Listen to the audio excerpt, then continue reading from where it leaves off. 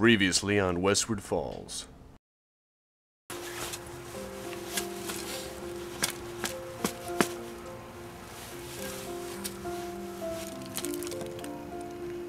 Where's Susan? Greg, I don't know what you're going on about. I know that you loved her. Is that blood on your shovel?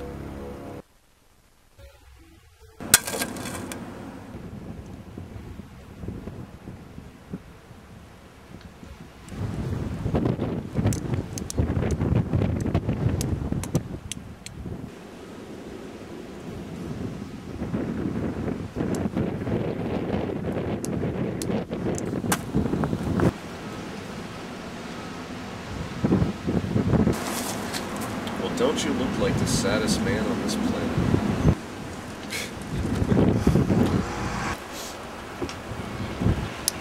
Do you want to talk about it? You can't handle what I have. Try me. I've got tough skin. No. You'd need gloves to handle this. Well, maybe someday I'll get some.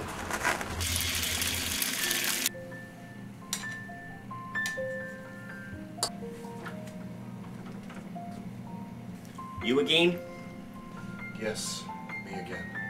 I thought I told you to leave, mate. Yes. Yes, you did. But we need to talk.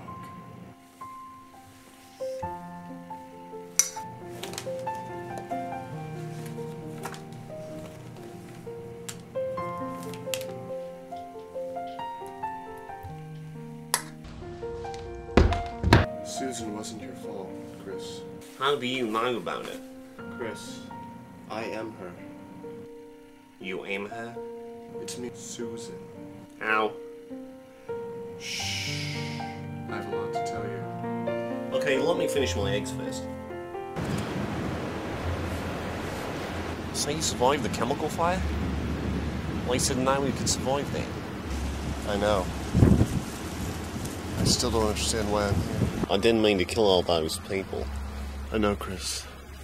Your shovel slipped. Let's stop this nonsense What nonsense? between us. We both know we cannot love anyone. But you did love me once, didn't you? Well, that was such a long time ago. I know those two days seem long to you, but they felt like an eternity to me. Those two days, I killed a lot of people. I even tried to kill the woman I love. I know you didn't mean to tie me up in that warehouse with all those chemicals.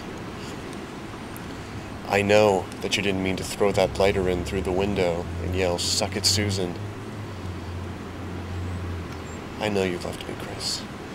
I think I need to think this out with some more eggs. I want an answer now, You want an answer? more than anything. Suck on this, Susan.